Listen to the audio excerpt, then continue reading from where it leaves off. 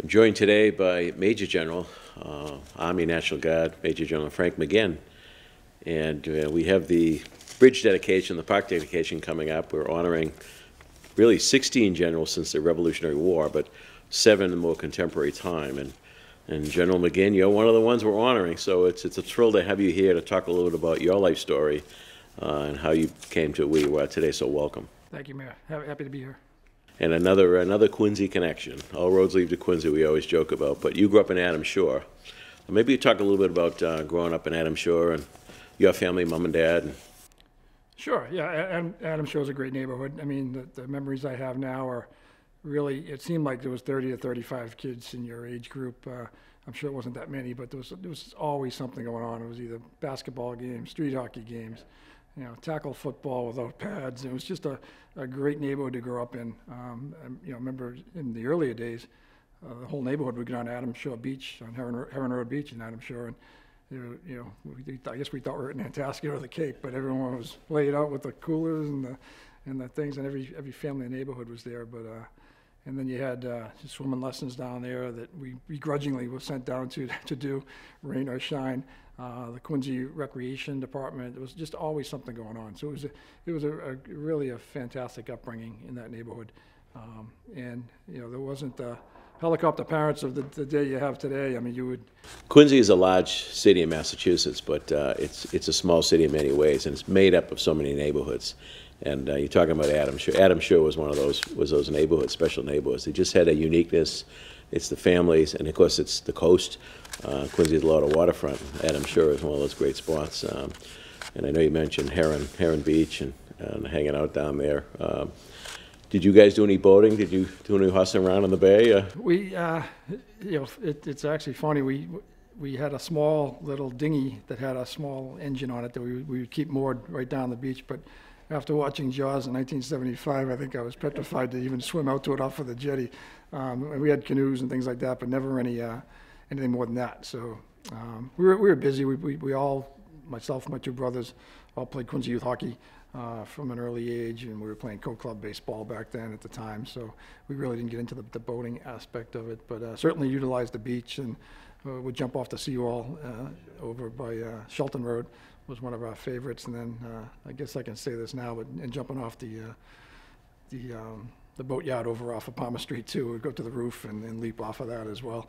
So uh, Stuff you'd cringe if your kids did it today, ex- right? Exactly. So you you had actually two career paths going at one time. So you you, you joined the state police, uh, eventually becoming colonel. I think you retired. It. Uh, uh, major. Yes. yes. So major state police. When did you uh, join the state police, and when did you think about uh, the guard? Yeah, so the guard was really first. So right right out of high school in uh, in August of 1981, I graduated uh, from Archbishop Williams in May. Um, I wanted to go to college, and you know I was looking for ways, creative ways to, to finance it, and looked saw the guard, and was, you know they were paying tuition. I wanted to do both. I, I, I wanted to serve, but I also still wanted to go to college. I didn't want to delay college, so that was the you know the impetus that drove me into enlisting in the guard in '81. Um, and then after about four years, I, I made it to the rank of E4 and then attended Officer Candidate School and, and got my commission as a second lieutenant. Um, so that was around 84, I believe, when I got commissioned. And then I um, joined the state, I actually was a police officer down the Cape uh, in the town of Dennis for two years, from 1986 to 1988, and then joined the State Police Academy in 1988. Um, so it, it's, um, don't, I don't know what brought me into law enforcement. It's, uh, my uncle was a police officer in Boston, so I guess uh, he was more some, somewhat of a role model. And I think serving in the guard, I still had that. I think that service mentality, and uh, thought I would I would try it out in law enforcement. And it turned into a you know a 30-year career with the state police, which uh, which actually paralleled the guard well. Um, they, they were very um, um, flexible with the time and gave you the opportunity to be able to do both jobs. So challenging sometimes. You'd, you'd work at night and then have to get up and do your reserve duty on the weekends. But it was a different guard back then too. We weren't as uh, operationalized as we are today. So it was really the two weekends, uh, one weekend a month, and the two weeks, and usually in the summer, was was the normal routine back in those earlier years. It's, it's interesting you say that because if, if you look at the Guard, uh, you know, and you look at their involvement, and, and I know you, you saw some pretty serious action, but you know, Desert Storm, Iraq, Afghanistan. The Guard's been a big part of that, uh, part of the unit with, with the Army. Sure, yeah, I, I've seen the Guard evolve from, from when I came in in 1981. Uh, you know, I remember the Guard from 1978 from the blizzard, but I was I was 15. I just remember seeing the trucks and what they were doing, and when the, the area was under siege uh, from that storm. Um, but then, uh, you know, in '81, uh, we, we weren't the, the Guard force we are today. That's for sure.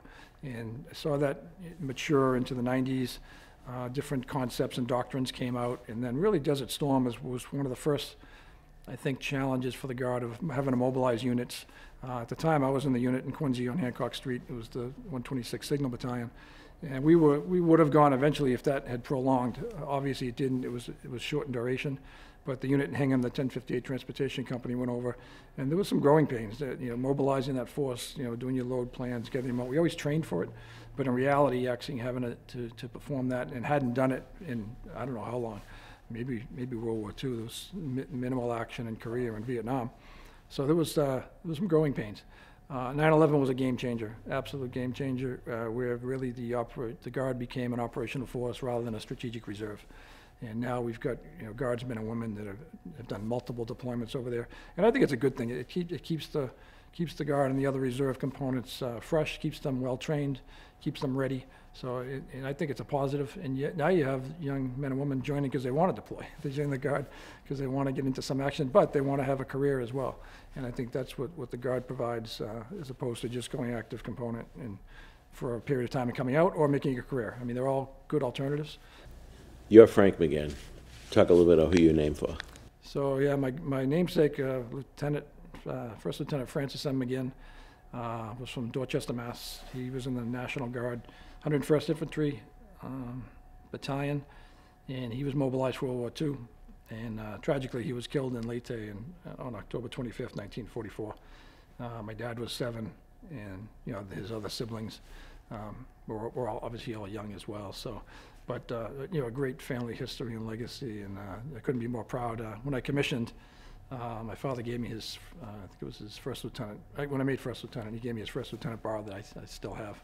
So, yeah, he was a Boston school teacher, and you know, just like today, you know, post 9/11, and he got called, and he ended up answering, and, and ended up going. So, but you know, my father went on, did a couple years in the army. My uncle Timmy he was in the Marine Corps uh, for 19 years, and my uncle Arthur was in the army, fought in Korea, and my uncle Kevin was, was in the Navy. So even having lost their dad at a young age, they all still went on to continue to serve. Uh, so it's it's a, and then my brother, my younger brother Sean was in the army as well for four years. So it's in the blood. It is, it is. It, they, they always say it's a family business, and uh, Well, I got to believe uh, how proud your grandfather would be to see you attain the rank of uh, uh, Major General. It's pretty incredible. Yeah, uh, yeah, probably, yeah. So uh, I'm more you know proud of his, of his service to, to country back then and what he did managing a large family and, and having to go. But when you were in the Guard, you never you never thought about this track, right? no, You no. ever think about you being a general? Or? No, I, I thought I was going to do my six years, get out, and uh, and it's funny. We, we, we, we joke when you make captain, it's you know that's a big deal. When you make field grade major, you you figure you've hit the, the pinnacle. And uh, but I tell you, the, the army and the guard both prepares you for the next level uh, through assignments, through education. So as long as you're uh, you, you know you're putting your you're all in and you're working and uh, it- the system really works and it brings you along uh, and, and allows you to continue to serve uh, in certain positions. So, um, yeah, but I, would- I would never have, I think if you ask any general officer, they- they'd all say the same thing, that they never would have, you know, thought, with maybe some few, few exceptions, but, No, with the obviously with the Guard, state police at the same time. Um, you to say a little bit, there's some similarities. Did, did one help you more than the other side? And was it was it state police helping you on this that side, or the Guard really helping you on the state police side, or was it? actually, it was, it's really neither, I think. I mean, I was, I, I think I was savvy enough to put uh, eggs in both baskets.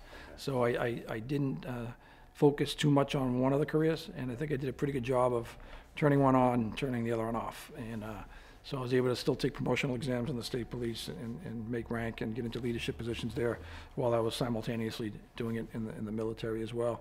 Um, but what, you know, the good part is, again, they, they were, until you get to the senior levels and the requirements become more, you know, more intense, uh, more time required, it really becomes a collision at, at some point. And that was really my, my decision to retire a couple of years ago.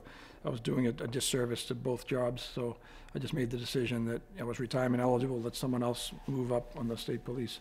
take over that troop and, uh, and put, at this stage in my life, put more focus into, you know, my, my current assignment down in, in Washington DC, so. We have a mutual friend, Billy O'Brien, who says he was in Officer Candidate School together with you, Ye- but it worked out for you. It did, yeah. Billy, Billy had a great career. Billy retired as a colonel. Um, actually, he, he was he went to Norwich, commissioned out of there. Um, was about a couple of years uh, behind me growing up, but we, we, we grew up in the Signal Battalion. And uh, it's funny, you, you, you have those lifelong friendships, and, and Billy was one of them. And uh, we, we, we play a little hockey together too, so that's always another part of that, that, that friendship. Absolutely. I mean, it's, it's interesting. I, I know we're talking about the generals and, and the history of the city, but um, Quincy per capita wise, you know, the amount of people that just sign up to serve, whatever branch they chose, it's pretty remarkable. Um, you know, it's, it's, it's a big part of our history, who we are. It's one of those communities that, uh, you know, so- South Boston, Dorchester, similar. Uh, it was, you know, you wanted to serve. It was just, it was just, it was part of the DNA, if you will. And certainly with your bloodline, it made perfect sense. Right. Uh, Talk a little bit about um, uh, the type of um, activity you've seen directly. Uh, War's not pretty, uh, and, and uh, I know, you know, I've talked to other generals, General Dunford over, over the years, and, and, and the, you know, the job is to be ready, best trained, prepared when that time comes, when the call comes. You know, um, it's the policy makers up above that set the policy, and, but it, but you guys have to execute. I mean, the, again, the, the prep is, is intense, but it's good. Uh, at a division level, you, you go through what they call warfighter exercises, which are uh, designed to be intense, designed to be stressful. And at the, you know, brigade, battalion level, they go through the combat training centers, so force on force. And those are requirements before you actually uh, will deploy, you know, downrange and, and get over there. So, but yeah, the, the intensity over there can be good. I, I didn't have a bad job. I, I was at uh, a forward operating base, so it's, it's, you know, not, not to be, uh, you know, to be funny about it, but it was technically called the mayor. So I had all the life support and uh, the base defense operations, the force protection uh, for a, base of about 12,000 folks, uh, some third country nationals, a bunch of different 06, uh, you know, colonel level commands, and then about four to six kilometers around that base was, was kind of my operating space. So, um, I mean, the real the real threat over there at that point in 2005 was either indirect fire, which we would, would take, you know, fairly routinely, or with, or traveling, uh, either over the road because of IEDs, or if, if you're flying, um, from some sort of, you know, attack there, but, but it wasn't, I wasn't in, you know, going through the cities and kicking down doors, so I didn't, I didn't experience that. Um, but it, it was, it was real. Uh, the, the, the first time, I think it was the first time a National Guard division actually had a, a large battle space over in, in Iraq, and that was the 42nd Infantry Division out in New York. So I was assigned to them at the time. And, uh, but we had uh, third ID with us. Uh, we replaced first ID out of Germany, and then we got replaced by the 101st uh, Air Assault Division out of Fort Campbell. Um, but so again, I had a pretty good experience. But we had a combat surgical hospital there, so we would see the, the injured coming in every day, flying in, and and really nurses literally they'd be having a cookout and would drop what they're doing just to go give blood themselves if they were off off duty. So really inspiring to see um, just the, the way people you know, operated and fought over there. I mean, no one ever wants to get into something like that. That's when, you know, it's really when diplomacy fails. Uh, but it's you train for it, and you, you you know you train your whole career for it, and you have to be ready when you get over there. Um, so you really have to pay attention in the training, make sure you're ready, uh, and make sure you, you're able to be survivable and care for the people under your charge when you when you get over there. The further you went along in the rank, and of course, uh, you know, two-star general is very impressive. I mean, it doesn't happen every day. Uh, As you, as you were going along the line, I mean, um, I'm sure you read a little bit more about history, learn more about the military. Uh, Was there a favorite general or two along the way that, um, either historically or- or contemporary time? I- Obviously, we got generals from Merrymount, just up the street from Adams Shore, but I don't know if uh, if that ever crossed your mind, who who you'd like to emulate or? Um, I mean, if you look historically, uh, you know, General Patton was certainly uh, an interesting general, uh, vi- vivacious uh, personality. Uh, what, one thing I like about him is uh, in one of the you know, schools we were in, they, they showed a document where he was rating one of the other generals, and his comment on it was, "He's the best general in the army, and I know them all," something to that effect. So very short and to the point. Uh, but contemporaneously, uh, you know, obviously General Dunford uh, and General McConville both are, are, you know, living legends, honestly. Did you know them growing up at all? I, I did not. Uh, General McConville's dad was a hockey ref in Quincy Youth, so I think he might have tackled me once or twice and, and threw me in the sin bin um, while we were playing. But I did know his younger brother, uh, Paul. Uh, we used to run around because Merrymount being so close to Adams Shore, we, you know, we, we did still kind of hang with the Merrymount kids and as well as Germantown and Houghs Neck as well, with those four neighborhoods, uh, you know, uh, were adjacent to each other. Uh, so I didn't know he was five years, I believe, ahead of me at, at Archbishop Williams, and then obviously went on to West Point. But, but as far as, uh, and we have General Milley now, the current chairman of the Joint Chiefs. Uh, you know, is, is you know we see North Shore guy, right? North Shore, Winchester. Um, but uh, they're, they're, I mean, General Dunford, I, I- I saw him at the Southcom Commander's Change of Command, and he got up there with no notes and, you know, talked about the Admiral, um, Admiral Kurt Tidd, who's a, f- a friend of the family's retirement, and went through his whole career, every assignment he had, every ship he served on, um, just from, just from knowing him, I think, and, and just the, the type of leader he is. Uh, so he's, he's certainly inspiring. Uh, It's funny, you mentioned General Patton. General Patton's son was also a general. that's right. And, and back in 75 or 76, he was the Grand Marshal for the Flag Day Parade in Quincy. Okay. So I was a kid at the time, and uh, you know, he had all the tanks with him, and the kids had a blast uh, at the time. But then you went on to become a Grand Marshal. Dunford did, McConville did. Ronald Rand from the Air Force also had been Grand Marshals with, with the Flag Day. So it's been a great tradition.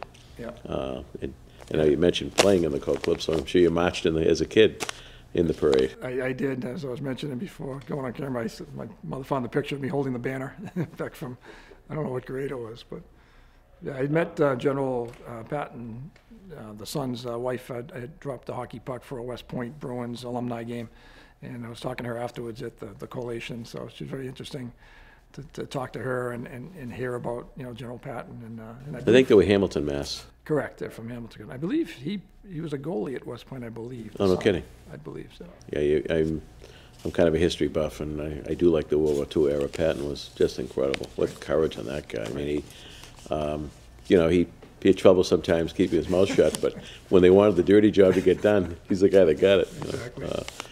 Uh, um, we're living in a different time, and uh, you talk about your grandfather, your father, the greatest generation, um, and uh, today it's still the greatest country in the world. But this past year, you know, I think we're looking at the soul of our country and, and, and looking at okay, uh, where do we go from here? And one of the concerns I have um, as mayor and chair of the school committee is uh, people coming out of our schools, are they learning the history?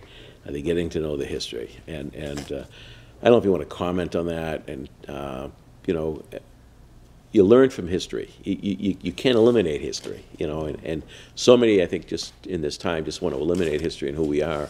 Um, and, and that, that troubles me a little bit. And then I want to ask you a little bit about what you'd recommend to a young person, whether coming out of college or coming out of high school. Talk a little bit about leadership, because it, it's, that's, that's not something necessarily it's the perfect definition in the dictionary. It's, it's, it's part of living life and who you are. But maybe a little bit about um, the times we're in. Yeah, yeah, we, we, we can't lose sight of history. I mean, our history is our history, good, bad, or indifferent. And, you know, my personal opinion is that we, we can't lose sight of that. It needs to continue to be taught in schools. And I think you can do it concurrently. We're talking about, you know, current affairs as well. I don't think it necessarily has to be one or the other. But I, s- I don't think we, we certainly shouldn't be doing one or the other. We need to have uh, some hard conversations, some difficult conversations. The one thing about the military is, you know, it, it's really a melting pot. I mean, we've got all, you know, races, sexes, sexual preferences, and, uh, and we can have those conversations, and we do. And it, and it's, uh, it's, it's really mandated that we do that. I mean, that, if you're not doing that, then you're not leading. And so I, I've got an interesting, um, really diverse group of folks where I work, and I love having those conversations. I'll just go sit down one-on-one with folks and ask about, and about current affairs. I ask what they think. And I've got people that grew up in some tough areas in New York City. I've got people that grew up in the South. Uh, so we, we embrace it, and we, we, we like to have those conversations. I hear this story from my son who's in the Marines, who's met kids from all over the country and all colors and backgrounds, and they have some fun breaking each other's chops, but at the end of the day, they walk watching each other's backs. Right, you know, right. And, uh, And I think that's the fun, the, the camaraderie part of that, and being able to, to poke fun at each other, I think is important too. I think if we get too sensitive over it, and we've got, we're gonna lose that, and that's. I think part of the problem is we, we, it's, I don't know when, when this happened, but you can't have that discussion anymore. It's, it's, it's, uh, I'm a position over here, a position over there, and you can't find that middle ground. That's the challenge politically right now, uh, find that middle ground. You know, we can disagree, but we don't have to be disagreeable about it, you know? And that's, that's what the military brings, is that, that commonality and that common bond, and again, that, that esprit de corps and that morale. So they're all, again, from different walks of life, and you all come in. And one of the things the Guard is doing lately, which I thought was fascinating, and- and they, they, they tell you when you're mentoring some of these young folks now, you don't ask them where they're from, you ask them how they grew up. Because it's gonna provoke a completely different response. So if you ask me where I'm from, I'm gonna say I'm from Quincy, or I'm from Shore. But if you ask me how I grew up, I'm gonna talk about, you know, those thirty kids the same age and playing the sports. And so you're gonna get a completely different, uh, different answer from them just by changing that question a little bit. Advice to a young man or woman coming out of high school or college, or trying to figure it out, thinking about the military, maybe thinking about law enforcement, about leadership, what what would you say? I mean, I- I'm, I'm obviously biased, so I'm, I'm gonna tell them that, uh, the, the experience you get in the military, whether it's reserves or active component, uh, is invaluable. I mean, you're, you're, you're thrown into situations at a younger age and really, I mean, they're trained for it, they, they, they train, but you're still gonna, you're gonna make, you're gonna make mistakes. And we encourage you to make mistakes, 'cause that's how you learn. Uh, but you're just thrown into those situations where you, you have to lead if you're gonna be successful. Uh, and, and, you know, my career, you know, I owe it all to the NCOs. I'll, I say that all the time, and I beat that drum. I've had, I had great NCOs as a second lieutenant that taught me, you know, right from wrong and what to do, uh, and all the way up to my current position now. I mean, I, I, I, I, I don't know where I got that. I don't know if somebody told me that or if that was something early on, but I latched onto that, that, you know, paradigm immediately, and it served me well. I've got sergeants major that are still friends. We still stay in touch, and we still talk to each other that are long retired, either, either from Iraq overseas or, even- or locally here. But I, I would, yeah, I would always, again, I'm, I'm, a, I'm always a rec- a recruiter. I don't think, I think everybody is that wears the uniform. But I, I tell them the, the pros, the cons, and, and what they can get out of leadership. And you're not, you're really not gonna get that in any, any sort of schooling or in a college or a high school even. Um, it's just, it's just unique, and, and it's something that I, I encourage people to do. So if I hear someone's interested, I, I'm- I'm mentoring a young man now that's looking to go to Norwich and, and then come in the Guard afterwards, so. But he's, he's, he's driven, he knows what he wants. Um, he watched that Make Your Bed uh, video from Admiral McRaven, and he, it just put him on this track where he knows what he wants to do. One of the generals we're honoring, Gordon Sullivan, was a Norwich guy, That's right. went on to become Chief of Staff of the Army. Um, Yeah, grade school, Bill O'Brien, another Norwich guy, um, Mike Kosky, another, you know, Quincy uh, guy, retired lieutenant colonel, another Norwich. They, uh, yeah, they're networking, uh, you know, you say they're thick as thieves, or I think as, as tight as, as the West Point, you know. I think General McCullough would probably differ, uh, beg to differ on that one, but, uh, So, as, as we've talked a little bit about, we're honoring 16 generals from Quincy since the Revolutionary War. We've kind of zeroed in on, on seven, you being one of the seven. Oh, I'll let you say, how do you, how do you feel about it? How does it hit you? First off, ex- extremely humbling. I mean, it's, it's, I can't put into words how humbling it is. Uh, and to stand among the giants that are being recognized in this. And really, I got to say thank, thanks to you and to the city for doing this, because I think it's important to keep that history and that legacy. Uh, and and uh, I, I look at it, I, I see mine, I think, as representative, one is my grandfather's service and the National Guard's contribution to the country. So I would like to be there as that representative. Um, even even though General Sweeney, I know, was in the Air- Air Guard after his uh, service uh, during World War II. But uh, I think it's important for people, if they visit that and they look at it, to see uh, that, that other component and that other aspect to the citizen soldier, you know, dating back to 1636 here in, in Salem, at the Salem Green, the first muster on December 13th. So I'm very proud of that, that citizen soldier history. So I look at it, and that's how I'm, I'm kind of trying to put it in perspective, because as I said, it's, uh, it's humblest, uh, the, the humbleness of this, I just can't say enough about it. I mean, I'm still a kind of, uh, in shock that it's happening, and that, it, and that, it's gonna be me that's, that's gonna be representing that, that body of, uh, citizen soldier. Well, it's, it's, yeah, I think it's important. I remember when I first approached General Dunford about it, um, he wanted no part of it, and, uh, he, he really talked about, it's about the enlisted men and women, and, and I reminded him that, uh, we've got monuments all across the city for enlisted men and women, but it's, it's about the leaders of the military as well. Uh, and, uh, and, because he eventually agreed, uh, and we did discuss uh, ways to honor our enlisted men and women, and we're gonna have anyone from Quincy that's a veteran, that grew up here, went in, or work, lives here now, that's a veteran, we're including them in the honorary committee. So it will be a day to honor all our veterans, but in a real way, Um, you know, you, I've heard the term modern-day patriots. You know, you guys are the modern-day patriots. I mean, it's, this, this country's incredible, and you think about the history of, of Adams right in our backyard, and Hancock, and, and what they put together. But, but then it was generation after generation of men and women stepping up to preserve what we've known as the greatest country in the world. Uh, there's nothing like it. There's never been anything like it. Uh, and, and that's why I think it's so important for our young people, they understand the tradition, they understand the history that, and who we are uh, as a community and what Quincy represents. So, so I'm hoping the event will be a recruiting tool in some ways with some of the young people if they're thinking about it, you know. I'll tell you a funny story. Recruiting, I was taking my Army PT test over in South Boston because the fishbowl is just a nice place to run your two miles. And a young kid pulled up on his bicycle and we had the Army PT stuff on. And you in the Army? He said, "Yeah, we're in the Army Guard. And he said, I'm thinking about that. So I immediately called the recruiter I had on speed dial and I just handed him my phone.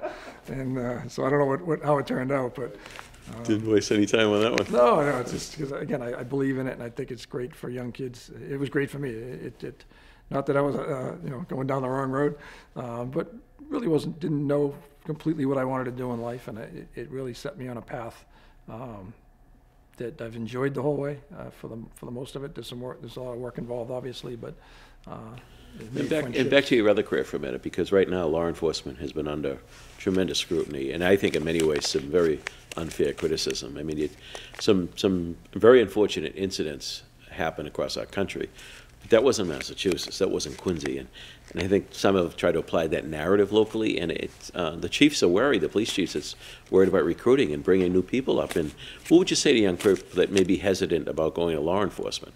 Yeah, that's, tough nowadays. It's, it's really, I, I think they're gonna pull out of it. I think it's gonna, over time, I, I, I hope that, that, uh, there'll be some healing and some mending. Um, you know, no one likes, you know, bad police officers, you know, worse than, than good police officers. So, um, I, th- I think in- in Massachusetts, to your point, Mayor, I, you know, I know the state police had a very thorough, uh, discipline system and process of kind of policing their own. Um, and I know Boston and the Quincy Police both do great jobs in the community, and I think that's where we differ. I think, uh, you know, being in the community and knowing and being part of the community is really what, what, what helps that. So you don't have those things that flare up, and, because the, the law enforcement cannot be detached from the community they serve. They just, they just can't be. And I think in some of these areas where it flared up over, you know, um, bad circumstances, than, you know, right, wrong, or indifferent, then I think that's when, when it, but the, uh, the way that really spread across really the globe even, uh, like wildfire was, you know, I guess a wake-up call for everyone to really try to look at it. And, and I don't think anyone's opposed to criminal justice reform either. I mean, if there's gonna be goodness in there, uh, you just gotta be careful you don't, you know, handcuff those that are doing that job, because it's not an easy job to begin with. So it's gotta be real, it's gotta be realistic, and it's gotta be something that, uh, is go- is gonna be able, so you can still protect and serve the- the communities that, that you work for. But the other thing I always say to people is, and, and I think the, as you talked a little bit about, the military is, is the best place to bring us all together, because we're a huge country. We have so many different cultures, so many different immigrant immigrant groups. It's never been done in any place else in the world. And think about how few problems we have when you add all those things up and the different cultures and different viewpoints and different religions and faiths and and and uh, and you, you're right. The service brings them all together, mixes it all up, and and produces a soldier, a sailor, an airman. Um, It's a, it's a great experiment, and it, and it's been working pretty good, really, it really has, and, uh, and it- again, it's that, it's that discipline and that morale and that good order, um, that instills that, so everyone's on the same playing field, uh, regardless of where you, you come from. And it's not perfect, there's, I mean, there's challenges in- in, the- in the ranks as well sometimes, but, but through leadership, you- you work, you work through those, but it's certainly, uh, I, I've certainly enjoyed it for the past, you know, thirty-nine years, and it's been, it's, it's been, you know, a great, a great ride so far. General, I want to thank you for your taking the time out. Looking forward to the to the event uh, this September. Uh, I hope your family and friends and everyone's going to come in and enjoy the weekend because it's as as Dunford said to me when I was interviewing him.